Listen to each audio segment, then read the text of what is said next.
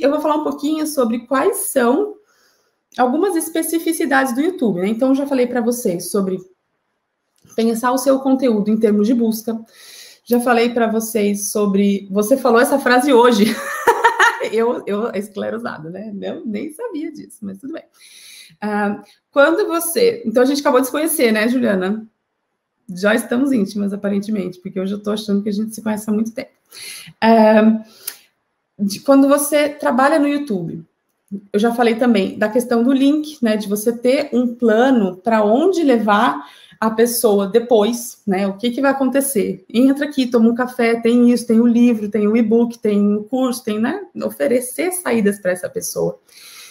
E tem mais algumas especificidades do YouTube que eu acho importante a gente é, lembrar, assim, né? É super importante em, em, em, todos, todos os canais de comunicação, na verdade, né? Mas é importante você, quando você está criando um canal, você estudar muito bem, né? Qual que vai ser o vídeo que você vai deixar lá, aquele vídeo, não sei como é que chama, o meu tá lá um vídeo bonitinho, o vídeo que fica lá na capa, é, como que você vai nomear cada um dos seus dos seus vídeos, né? Isso faz muita diferença. Como você vai dar esse nome? Então, estudar o que as pessoas procuram, estudar os títulos, né? Eu, eu quando, quando eu faço vídeo para o YouTube, eu faço vários estudos, assim. Então, ah, será que é como legendar seus vídeos para YouTube, Facebook, Instagram? Ou é, será que é como fazer vídeos que têm mais visualização? E a resposta é através de colocar uma legenda, né? Esses dois poderiam ser títulos uh, correspondentes para o mesmo de um mesmo de um mesmo conteúdo que eu fizesse. Tem uma ferramenta que eu uso aqui. Produção, se eu não puder falar de ferramenta, vocês me avisam. Mas tem uma ferramenta que eu uso para fazer essas pesquisas pro YouTube que se chama TubeBuddy. Eu instalo ela como um, um, um uh, como chama isso? Uma extensão no meu navegador. E aí, essa extensão fica ali é, me, me, ajudando com as buscas. Ela me mostra quantas buscas tem de um certo assunto, quantas buscas tem de outro, e ele me ajuda a entender mais ou menos qual é o panorama do YouTube. Mas, na verdade, também nem precisa disso, né? Você pode ir lá e fazer uma busca sobre como legendar seus vídeos, ver o vídeo que tem mais visualização, quantas tem, depois fazer como fazer vídeos que tem mais visualização, procurar esse outro aí também, e aí é, ver quantas visualizações tem. Então, fazer uma pesquisa, isso é uma coisa bem específica do YouTube que vai te ajudar, porque o vídeo que tiver mais procura, claro, nem tudo é assim uma facilidade só, né? Ele, você vai produzir um conteúdo que vai ter mais competitividade. Então, você vai ter que estruturar ele melhor, né? Vai ter mais gente procurando, mas vai ter mais gente oferecendo também, né? E aí, então, é aí que você começa a elevar a barra. Então, ao, quando você começa a trabalhar com o YouTube para venda, você vai percebendo. Eu vou colocar aqui no chat, chama TubeBuddy, T-U-B-E, B-U-D-D-Y é o que eu uso há muito tempo, tá aqui, e, e ele me, me, ajuda a me dar umas, uns dados, assim, de, de, Não é nada secreto, é tudo dado que, que tem ali no YouTube mesmo. Ah, ó, a Joana também falou, ele ajuda com as palavras-chave, thumbnails, títulos, é uma mão na roda. É muito bom, porque você, você não fica tão... É, produzir conteúdo é uma coisa que às vezes a gente fica muito na nossa cabeça, né? Então, quando você começa a sair lá para fora, você acaba, você acaba vendo as outras coisas e vendo isso acontecer de um jeito, de um jeito mais concreto, né, com as pessoas, eh, com os dados, com as informações. Uh, percebo que quando o vídeo tem boa retenção, ele vai melhorando a posição do vídeo na busca, né? Então, é aquela coisa. Outra coisa importante que eu deveria ter falado antes, mas eu não falei, é que é preciso que hoje em dia, principalmente depois de 2020, né? Eu já sempre fui do, do princípio que você tem que ir direto ao assunto. Você não pode ficar enrolando, né? Ficar aqui, ah, eu sou não sei quem, mais direto ao ponto, melhor. Mas eu sinto que quando você passou aí desse momento mundial de 2020, as pessoas ficaram ainda mais sem paciência para enrolação. Então, super importante você, quando você for fazer o seu conteúdo, você se ater aos pontos que realmente são importantes. Vale mais a pena fazer um vídeo de três minutos, que só tem coisa importante, que fazer um vídeo de seis minutos que enrola, que demora, que a pessoa não vai ter retenção ali dentro. E aí, outras dicas importantes, né? O pessoal até comentou aqui, né? Uh, como você nomeia a sua thumbnail é super importante, porque isso também vai entrar ali nas, né, nas percepções das imagens, na sua busca do Google depois. Uh, como você coloca a sua descrição, como você faz tudo isso estar aí de acordo, né? E aí você vai organizando isso. Desse jeito, você consegue fazer um conteúdo que, que, que está dentro de todas as regras do YouTube, que agrada essa ferramenta e que agrada as pessoas que estão ali dentro. Mas não pode esquecer que é dois terços do caminho no YouTube e o último um terço vem para fora, né? Vamos a, a, extravasar aí. Então é isso, mais ou menos, que temos para hoje. Temos a nossa missão. E aí eu queria que você fizesse uma. Nossa missão número 4. Quero que você poste um vídeo no canal com essa mentalidade. Eu vou fazer um conteúdo que é buscável, uma coisa que as pessoas estão procurando. Eu vou fazer um conteúdo que vai ajudar alguém agora, que não vai ser assim, ah, eu vou te falar que se você fizer tal coisa eu vou ajudar. Não, eu vou ajudar agora, né? Ah, eu faço marmita, eu vou te dar um cardápio da semana, eu vou compartilhar o meu conhecimento, eu vou dizer o que fazer porque eu vou te ajudar. E aí, quando você for lá fazer o seu cozinha da semana e você ficar desesperada que você não sabe cozinhar, você vem para mim e compra minha marmita. É esse pouco raciocínio. Você ensina a pessoa a fazer. E hoje em dia as pessoas não compram mais porque elas não sabem, elas compram porque elas não querem fazer, ou porque elas não têm o tempo, né, por outras coisas. Qual seria a frequência ideal para gravar? Então, calma, deixa eu terminar aqui, já olho as perguntas aqui. Ah, cinco minutos. Ah, fazer, então, missão número 4, hashtag missão 4, hashtag profissão criador. Quero que você coloque lá um vídeo que você fez uma pesquisinha, que é um conteúdo buscável, que é um conteúdo que ajuda alguém e que traz um pouquinho de você, tá bom? Então, que tem aí uma pincelada do que tem o seu jeito, que tem a sua cara, que você lembra, que lembra um pouquinho uh, os seus valores, o seu estilo de comunicação, para que a pessoa possa se conectar e se identificar com você, tá bom? Eu vou responder algumas perguntinhas que estão aqui no chat nesses últimos cinco minutinhos, mas eu gostaria que vocês, ó, hashtag missão 4, hashtag profissão criador, quando você colocar o vídeo, uahá! Quando você colocar aí, você pode, quando você colocar o seu vídeo, você coloca hashtag missão 4, hashtag profissão criador, tá bom? Deixa eu responder aqui. Uh... Calma. Qual a frequência ideal para gravar vídeo para o YouTube? Muito importante essa pergunta.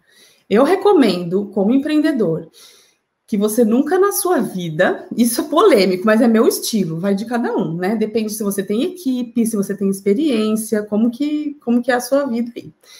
É, para os meus alunos, eu recomendo o máximo, do máximo, um vídeo por semana. Por quê? Se você é influenciador, se você é youtuber como profissão, aí é outra coisa. Mas se você é empreendedor, você tem que fazer seu planejamento, você tem que fazer seu financeiro, você tem que entregar as coisas para os seus clientes. Então você precisa de todo esse tempo. Eu tenho até um curso inteiro lá de planejamento para você organizar a sua semana, cada coisa você vai fazer no momento certinho. Mas você não vai conseguir fazer vídeos bons mais do que um por semana. Acabou-se o tempo em que você precisava fazer. Ai, faz 30 vídeos, vai ser melhor do que fazer um. Não. Um vídeo bom pode te render muito mais do que 30 vídeos ruins. Então, eu recomendo o máximo de um vídeo por semana, porque eu acho que fazer um vídeo bom por semana é, já é bem complexo para você que empreende. Fico aí mais ou menos nisso aqui. As hashtags fazem diferença? Fazem, mas é super importante você você fazer botar tags que são realmente humanas, porque muita gente fica tentando hackear os algoritmos. Eu vou tentar, é, vou tentar fazer, tipo assim, ah, eu vou tentar dar um jeito que eu vou, vou, vou ter mais views, vou tentar dar, né? Tem muito, muita gente que tenta fazer isso. Ah, vou colocar mil hashtags diferentes. Não. Uma coisa que eu sempre falo, né? Algoritmo é uma simulação, é inteligência artificial, é uma simulação da inteligência humana. Então, a gente, como ser humano, a gente tem o privilégio de já ter nascido com a nossa inteligência humana. então, quando você for colocar hashtags, você tenta colocar hashtags que realmente representam o que está aquilo ali. Então, se eu faço, se eu fiz um vídeo sobre como preparar a sua empresa para licença maternidade. Tem um vídeo desse lá no meu canal. É, não adianta eu ir lá colocar hashtag vendas, hashtag vender online, que são assuntos que eu falo sempre, mas que não estão naquele vídeo. Então é super é, é, super importante a gente se manter pé no chão, né? E fazer as coisas de um jeito organizado, né? Uh, uma dúvida: dizem que é ruim ter vídeo curto e vídeo longo no mesmo canal. O ideal é que tenha a mesma duração, tipo em torno de 10 minutos sempre. Eu acho, Bárbara. Depende se você tem. Do, do minha opinião, tá? Eu acho que a nossa comunicação com o nosso público ela precisa ter uma, uma linha de comunicação. Então, eu não vejo problema em você ter vídeos curtos e vídeos longos, desde que você tenha como se fossem séries, ou categorias, ou quadros, né? Dentro. Não precisa nem estar numa playlist específica, pode estar ou não. Mas, assim, ah, quando eu faço, por exemplo, eu tenho uma, uma sessão de vídeos que chama Golden Drops, que são vídeos de um minutinho. É, são gotinhas de conteúdos que eu trabalho na minha mentoria do Golden Club. Então, esses vídeos são bem pequenininhos.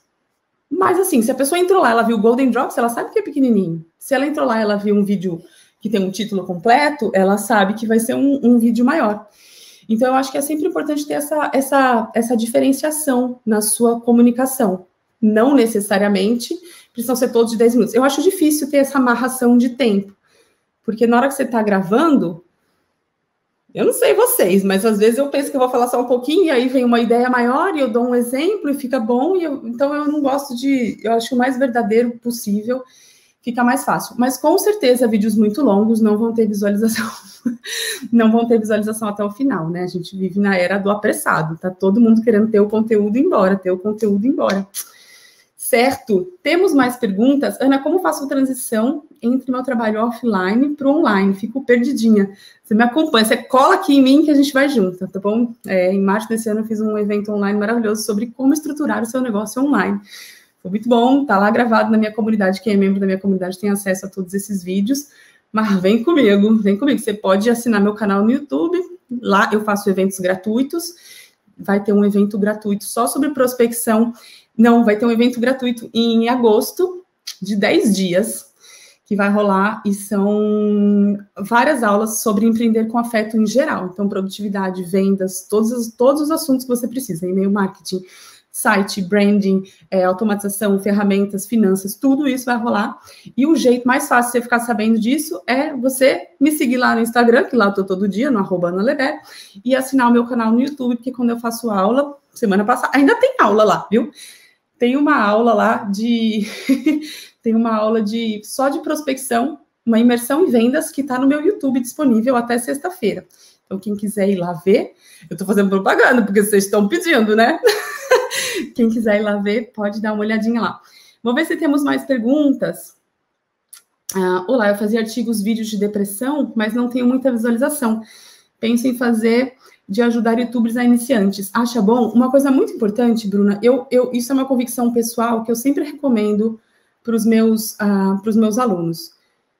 Que a gente, eu não, não, sei se é seu caso, tá bom? Mas assim, se você vai ensinar youtubers iniciantes, e como eu não te conheço, tô te falando, né? Honesto, meu negócio aqui é ser sincerona. Se você só, só deve, eu só te recomendo dar aula de YouTube se você realmente tiver muita experiência com isso. Então, é, toda vez que a gente vai dar mentoria, curso, ensinar a pessoa a fazer coisas, para mim é fundamental que sejam coisas que você tenha vivido, tenha né, é, superado desafios e se saído bem, porque aí você vai conseguir ensinar de um jeito que realmente ajuda a pessoa de verdade. Um, tem um jeito para atrair mais o público fazendo conteúdo buscável, né? Mas assim, é super importante a gente lembrar que o público é relativo. Eu não quero que você atraia mais público genérico, eu quero que você atraia mais público certo, que é a pessoa que vai comprar. Esse público, então assim, alguém falou que ah, eu estou perdendo assinantes todo dia, né? Subscribers, todo dia acaba diminuindo. É, isso só só isso não é uma coisa, não é um sinal ruim para mim. Se você tá, então, por exemplo, às vezes eu estou trabalhando com alunos na minha mentoria que estão fazendo um reposicionamento de mercado. Ai, Ana, todo mundo quer pede desconto.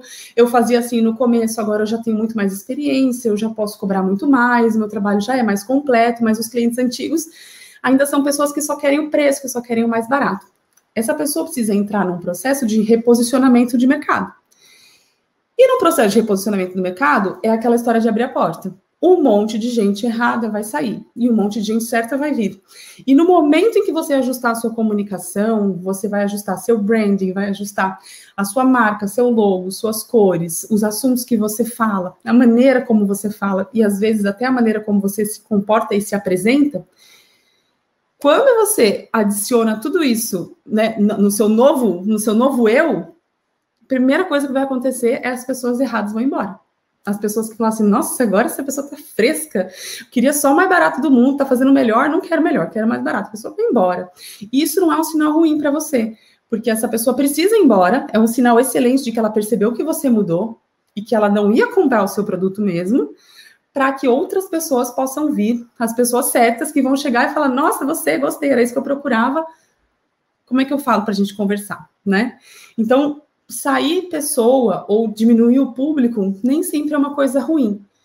O único parâmetro que eu gosto que você avalie é a sua rentabilidade de verdade, né? É, mentira, acabei de mentir. Não é só, primeiro a sua rentabilidade, mas além da sua rentabilidade, a sua tranquilidade, né? Porque conforme vai avançando no empreender, vai chegando um momento em que a sua rentabilidade cresceu, cresceu, cresceu, cresceu, cresceu, mas a sua tranquilidade diminuiu. Você foi ficando cada vez mais sufocado, com menos tempo, né? É um, é um sinal de que você precisa passar para a próxima fase do empreendedorismo, que geralmente convém trabalhar em sistemas, automatizações e, e crescer a equipe.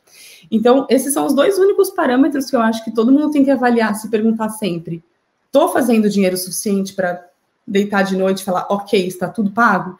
Sim, ótimo. Estou tendo uma tranquilidade para deitar de noite e dormir, não ficar com insônia, não ter desespero de nada?